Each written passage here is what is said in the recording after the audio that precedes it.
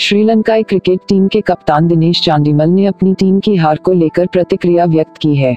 उन्होंने हाल ही में भारत के खिलाफ संपन्न तीन टेस्ट मैचों की सी रीज को अपने क्रिकेट करियर की सबसे खराब सीरीज़ बताया है। बता दें कि विराट कोहली की कप्तानी वाली टीम इंडिया ने श्रीलंका को तीन रन शून्य सेकंड पराजित किया था।